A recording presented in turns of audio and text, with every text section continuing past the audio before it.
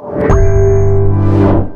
मध्य प्रदेश के राजगढ़ ज़िले के नरसिंहगढ़ में गुरुवार को दो महिलाएँ बीच तालाब में जाकर डूबने का प्रयास कर रही थी, जिसे देखकर आसपास के लोगों ने शोर मचाना शुरू कर दिया और तुरंत डायल हंड्रेड को इसकी सूचना दी। इसके बाद मौके पर पहुँचे डायल हंड्रेड ने आत्महत्या का प्रयास कर रही दोनों महिलाएँ, माँ बेटी संपत बाई, पति मोतीलाल साहू, उम्र 80 वर्ष व शकुंतला साहू, पति बद्रीलाल साहू, उम्र 45 वर्ष, पति बद्रीलाल साहू, उम्र 45 को तालाब के बीच में से रेस्क्यू कर बचा लिया गया।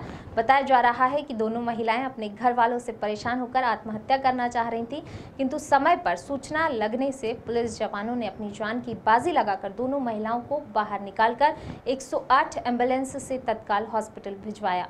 माननीय मंत्री महोदय प्रभारी मंत्री जी का आगमन था, उसमें ड्यूटी बांट रहा था। तभी मेरे मोबाइल पर हंड्रेड डायल कंट्रोल राजगढ़ से फ़ोन आया कि आपके यहाँ नरसिंहगढ़ में बड़ा तालाब है, बड़ा तालाब के अंदर दो महिलाएँ डूब रही हैं।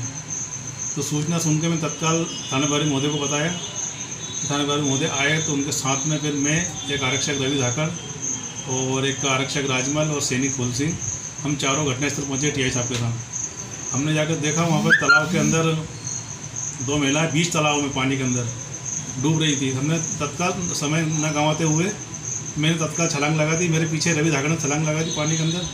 हम दोनों गए जाके उन दोनों महिलाओं को अपने कब्जे में लिया और उनको पानी से बाहर मतलब निकाला।